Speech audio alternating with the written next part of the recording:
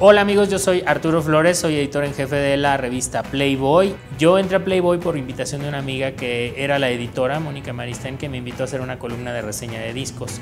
Y yo era freelance, yo en ese momento estaba trabajando para otra empresa, pero escribía mis tiempos libres para Playboy. Hasta que en el 2008 se abrió la plaza de jefe de redacción, eh, cuando la dirigía Gabriel Bauduco. Y a mí me invita a ser jefe de redacción y pues de ahí empecé a crecer hasta llegar a ser editor de la revista. Yo soy muy fan del periodismo, ¿no? siempre lo he sido, eh, del periodismo bien hecho, y estoy convencido de que el diseño es una herramienta fundamental para volver atractivo una buena pieza literaria, pero si la pieza no tiene pies ni cabeza no tiene sentido.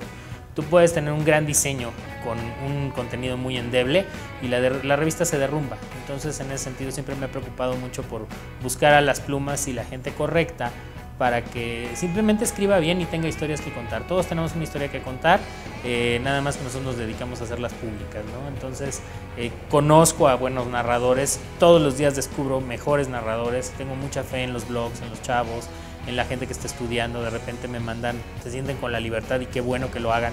Oye, te mando una crónica, te mando una entrevista, léela y si me gusta la publico, ¿no? O sea, y me platican porque además la gente que está, yo no me siento viejo, yo tengo 36 años pero la gente que tiene 10 menos que yo, que tiene 26 o inclusive menos, que anda por los 20, está muy enterada de muchas cosas que a lo mejor yo no. Entonces, cuando me lo platican y le digo, bueno, ya me lo platicaste y me interesó, escríbelo. Lo escriben y bueno, se vuelve un, gran hit. O sea, e, esa es la manera, ¿no? La curaduría es platicar, hablar mucho con la gente y escucharlo. Mira, yo creo que nos pasó a Alfredo y a mí, él y yo nos llevamos tantos años, somos casi la misma generación. En ese sentido sí nos tocó que estaban muy divididas las áreas, eh, las capacidades, las habilidades y los gustos. ¿no? Si tú hacías una cosa, difícilmente podrías dedicar a la otra. ¿no?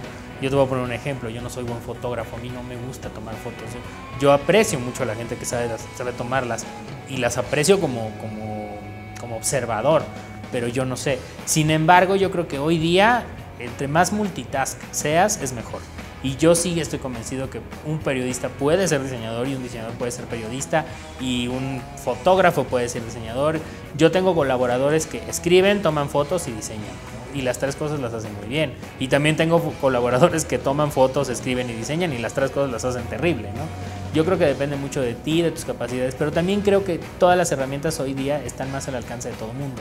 O sea, si yo quisiera por lo menos tener nociones básicas de fotografía, puedo meterme un tutorial en YouTube que en mi generación no tuvo. Había que buscar un libro que muchas veces no era barato, que muchas veces no estaba en la biblioteca o que muchas veces ni siquiera existía o estaba en francés o en italiano o en japonés.